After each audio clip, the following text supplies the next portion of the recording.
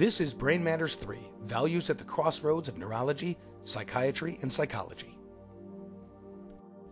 The following videos contain the plenary and panel sessions of a multidisciplinary ethics conference held in Cleveland, Ohio, October 23rd through the 25th, 2012. The purpose of the conference was to address ethical challenges in diagnosis and treatment of diseases falling into the medically unexplained symptoms or psychogenic categories.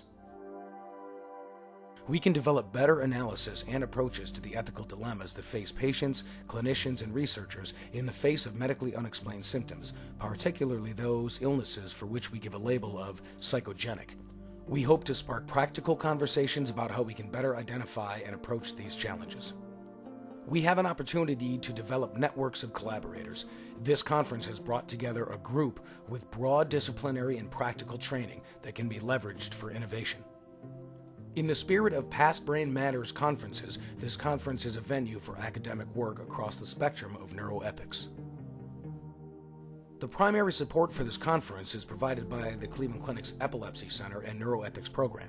This conference aligns with the Cleveland Clinic's goal of helping the lives of our patients, their families, and healthcare providers.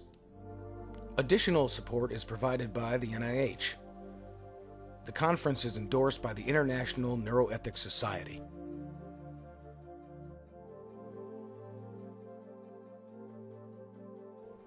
Thanks to all of the speakers and participants in making this event a significant success. Please direct any questions you have to Paul Ford, PhD, at email address neuroethics at ccf.org.